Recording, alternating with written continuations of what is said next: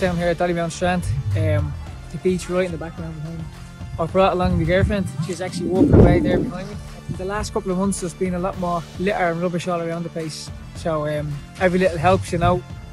These challenges have been a real eye opener to the beauty of the environment around me here in Galway and how it's so important to help do your bit in your community. Only a few extra minutes out of your evening or morning on your daily walk or run do make such a big difference.